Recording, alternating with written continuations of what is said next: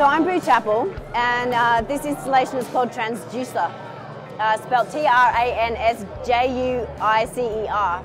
So it's a bit of a pun on um, on juicing the cow.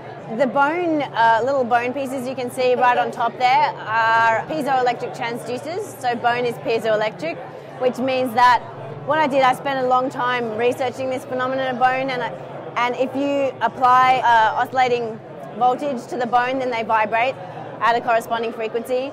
So I played a lot of songs about cows and vibration into the bones, and then I recorded them using a laser interferometer.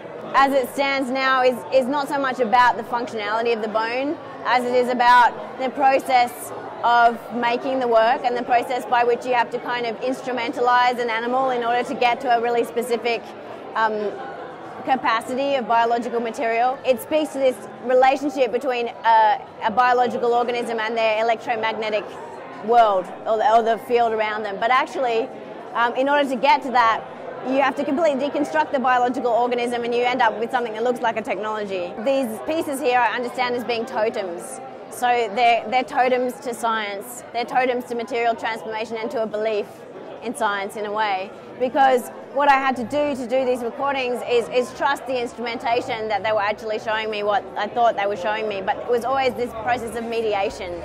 Um, so I see, I see now the way the transducers are placed, they're a bit like antennas.